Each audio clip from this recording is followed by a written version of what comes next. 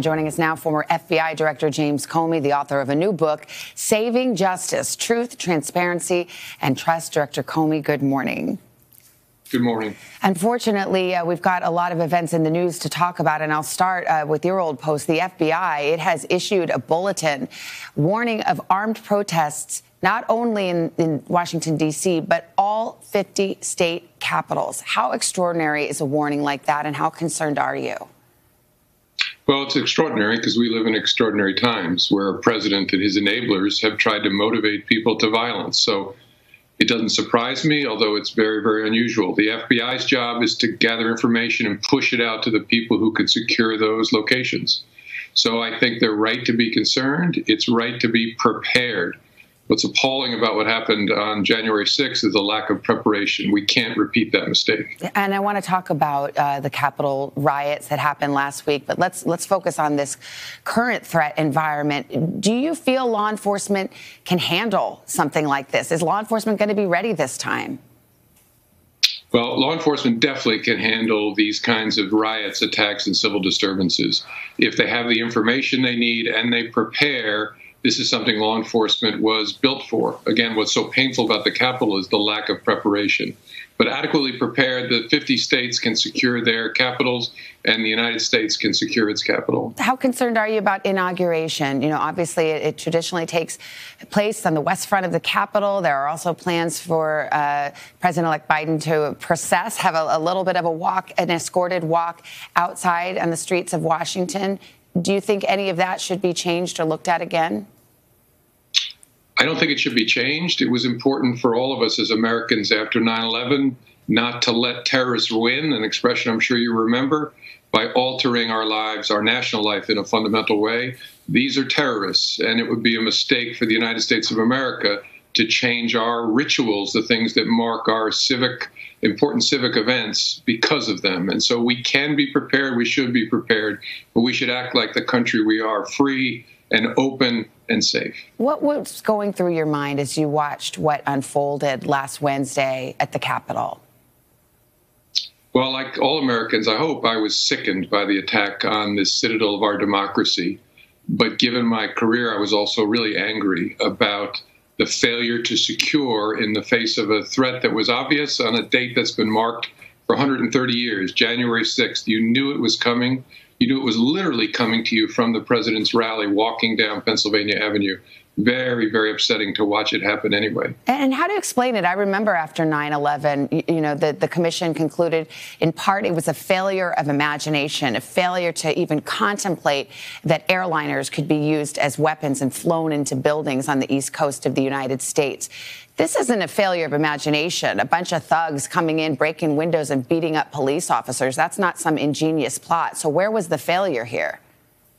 Yeah, I agree with you. It wasn't a failure of imagination, it was just a failure to see a threat that was in, in bright daylight coming at you. I don't know. It's going to be really important for there to be some kind of commission to understand so what happened here? Not just at the capitol with the capitol police but did they get the information they need? Did they see the threat the way so many other agencies must have seen it? I don't want to prejudge but it's going to be really important to understand that. This is complex as you mentioned. There were some officers that day who were heroic and at least one paid with his life. And then there are other officers who have been suspended because of some of their conduct on that day. There are police jurisdictions around the country country looking into whether some of their own members of law enforcement participated. How much does that concern you, particularly when you're talking about now having to secure these future events? I mean, is there a concern about some kind of inside job? It's something that a police leader has to look at because police officers are people some of them are going to be drawn into the same fog of lies that surrounds so many millions of Americans. But in the main, law enforcement officers are putting their lives on the line for the Constitution that they swore to uphold and to protect. I'm not worried about that in the main, even though a leader of a department has to understand every single member of his or her department. The FBI has received now 70,000 tips it's a huge amount of work. How important is it for the FBI to track down those responsible and and follow up on it? Um, it even though it may be incredibly time consuming, and for some people, it might just be a case of trespassing. it's important that every last person who entered that Capitol be found and charged. They need to feel the force of the rule of law. They need to feel the American people's will to make sure that we're a country that doesn't accept attacks on our democracy. I know my colleagues at the FBI are are honored and excited to do this work and will do it 24 hours a day until they find every one of them. The Attorney General of the District of Columbia has says that uh, said that he is looking into whether or not the president violated D.C. law, D.C. code, in inciting a riot. That's an open investigation, according to the D.C. Attorney General.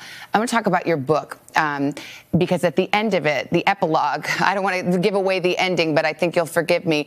You say that given everything that's happened, you don't think the president should be prosecuted. Has your opinion changed in light of what happened on Wednesday? And can you explain your thinking?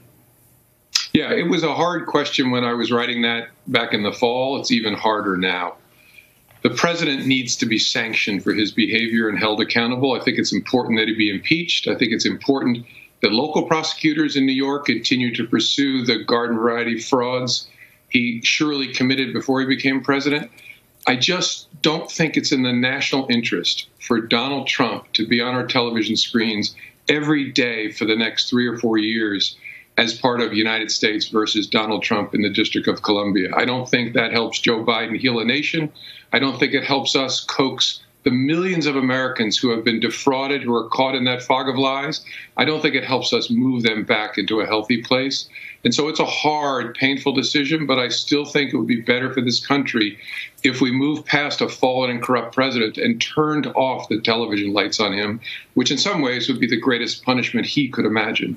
You know, comparing anything to 9 11 is a dangerous business, but one thing I remember is how it was an inflection point and, and it really woke up America to a threat that had been there all along, but perhaps we had not recognized. You know, a, a lot of us have friends and families who support the president.